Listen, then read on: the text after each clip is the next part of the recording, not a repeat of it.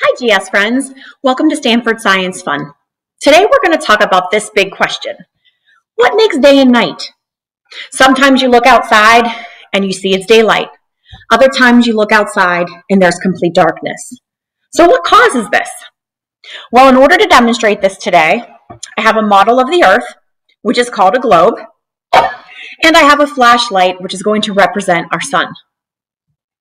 You will notice on the globe that there it is an imaginary line that goes from the top to the bottom. This is because our Earth sits on an, an axis. An axis is what it rotates around. So it rotates, Earth rotates on its axis. And you'll also notice that a globe is not completely straight. That's because it sits about 23.5 degrees on its axis. Now, what does this have to do with day and night? Well, the axis is what our Earth spins around. And one time around is a rotation. When it spins around the axis, it's called a rotation. It rotates around the axis. This is our sun. You'll notice that the sun is shining on half of the globe. You can see the reflection there. The other half of the globe over here, the sun will not shine on. So if the sun is shining right now on Greensburg, on the other side of the world, India, for example, it is dark. I told you before that the earth spins on its axis. So it's going to spin around.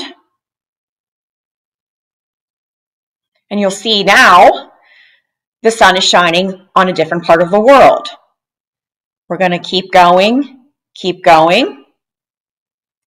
Now my sun is shining on India. And if I look at Greensburg, it's going to be dark. The sun does not shine on the entire earth all at the same time. One full rotation of the earth takes 24 hours, which is an entire day, we know as a day. 12 of, about 12 of those hours are nighttime, and about 12 of those hours you're hit by the sun. So some important words to remember today. Axis, that is what the earth spins on. It's imaginary. It takes about 24 hours for the earth to spin on its axis one time. And that spinning one time is called a rotation. I hope now you can answer the question, what causes day and night? See you later, GS friends.